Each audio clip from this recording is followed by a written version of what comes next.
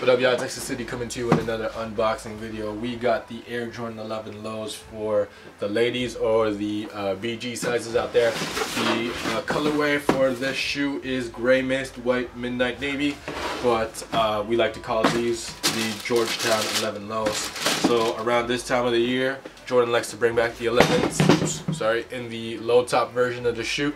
Um, as you can see, there's not much that changes in terms of the um, the look of the shoe, but the fact that it's just a little bit lower. Uh, also, the Georgetown colorway is a very familiar colorway in terms of um, retros when it comes to retros. Uh, the 14s that we did in the past featured a uh, Georgetown colorway as well, but on the 11s I think they look a little bit better.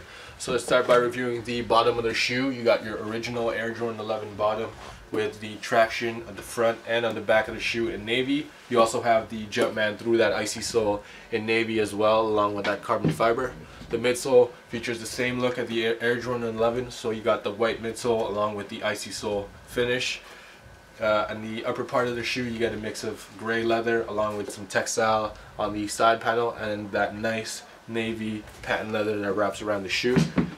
You got a little bit of detailings in the back on the heel right there. You got the Jumpman in gray embroidery along with the 2-3 that you see also on the highs. The shoe comes with your circular laces in white along with the Jumpman Jordan branding on the tongue.